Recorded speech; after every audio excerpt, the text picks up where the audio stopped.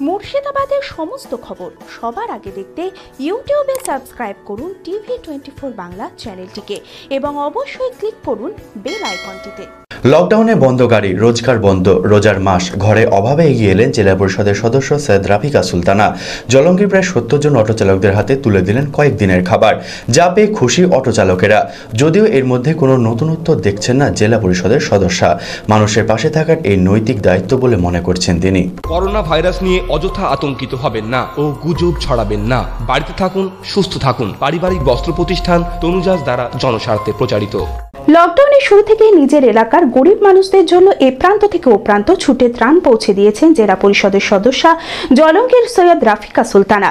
লকডাউনে গাড়ি চলাচল বন্ধ থাকায় রোজগার বন্ধ। সামনে ঈদ। অভাবে সংসারে অত্যন্ত সমস্যায় দিন কাটছিল জলঙ্গি ব্লকের সাদিকান দেয়ারের একাধিক অটো চালকদের। বিডিও বিধায়ক, ব্লক সভাপতিকে জানানো হলেও তারা কোনো সাহায্য পায়নি বলে জানায় অটো চালকেরা।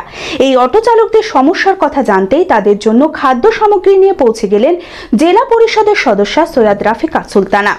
সোমবার প্রায় সত্তর জন অটো চালকের হাতে তুলে দিলেন কয়েকদিনের খাবার, যা পেয়ে খুশি এই অটো চালকেরা। আমরা বিডিও সাহেবকে জানানো হয়েছে, দরখাস্ত দেওয়া হয়েছে, কিন্তু আমাদের কোনো ব্যবস্থা করেনি।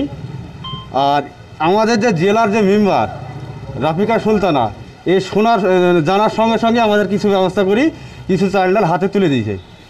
আর আমাদের গাড়ি ঘোড়ার যে কিস্তি টিস্তি আছে আমাদের আমাদের সংসারই চলছে না, তো কিস্তি দেওয়া যাবে না। প্লাস, কিস্তির যে লোক যারা মানে ইন্ডাস্ট্রিয়াল যে ব্যাংক ও বলছে সুদ সহ আমরা টাকা নেব। ঠিক আছে?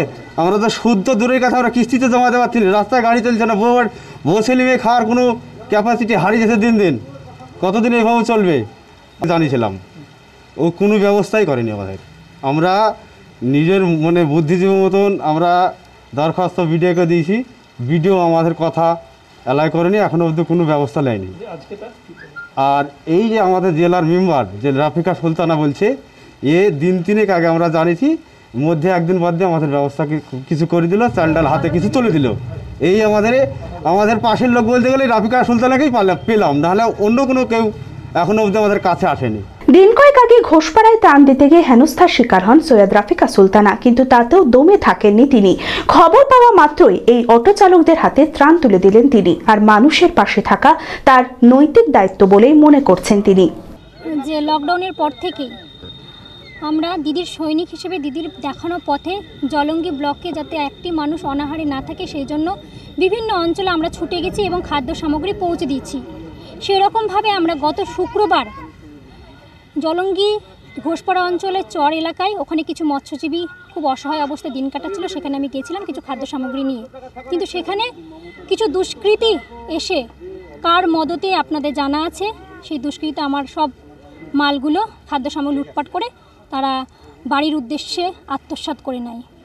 কিন্তু আমি বলতে চাইছি যে আমি দিদির সৈনিক হিসাবে আমাকে ধমকে, চমকে, ভয় দেখিয়ে আটকানো যাবে না।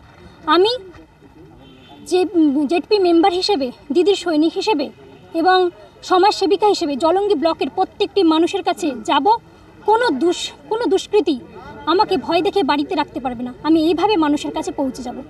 আমি, আমার কাছে গত কাল ইউনিয়নের সেক্রেটারি আসেন এবং বলেন, এখানে অটো চলছে না, সেই জন্য তিনি কিছু হেল্পের জন্য বলেন। এবং আমি তাদেরকে বলি যে, দেব। এবং আজ জলঙ্গি ব্লকের ইউনিয়নের ইউনিয়নের ভাইদের প্রায় ষাট সত্তর মতো ইউনিয়ন ভাইদের হাতে কিছু খাদ্য সামগ্রী চাল আলু পেঁয়াজ সবজি থেকে শুরু করে যাবতীয় তাদের হাতে দিলাম।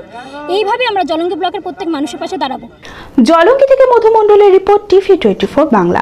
আতঙ্কিত হবেন না লকডাউনে ঘরে থাকুন। আপনাদের পাশে Shivam education and social welfare trust এই করোনার যদি আমাদের মোকাবিলা করতে হয় আগামী দিনে আমরা যদি সুস্থ সবল থাকতে চাই এবং গোটা ভারতবর্ষকে তথা পশ্চিমবাংলা মুর্শিদাবাদের বাসীকে নিরাপদে রাখতে চাই তবে আমাদের এখন একটাই রাস্তা, আমাদের ঘরে থাকতে হবে এবং ঘরের ভেতরেই থাকতে হবে একদিকে করোনার আতঙ্ক, অন্যদিকে গরিব মানুষের খেতে না পাওয়ার একটা বিশাল সংখ্যক মানুষ খেতে পাচ্ছে না তো সেই সব দিকে দাঁড়িয়ে আমরা সিভাব এডুকেশন সোশ্যাল ওয়েলফেয়ার ট্রাস্ট সাধারণ গরিব মানুষের সাথে।